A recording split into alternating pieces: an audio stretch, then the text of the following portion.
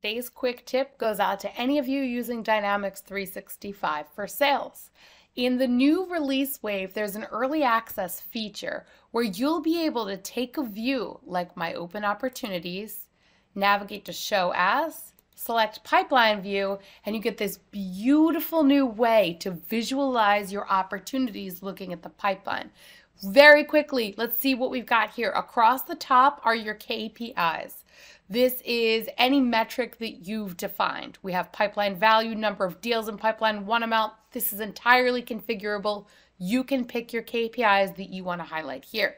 Underneath is your deal tracker and your sales funnel. So a, a variety of charts available to you. Again, something that you can configure and tailor to be what ex exactly you'd like.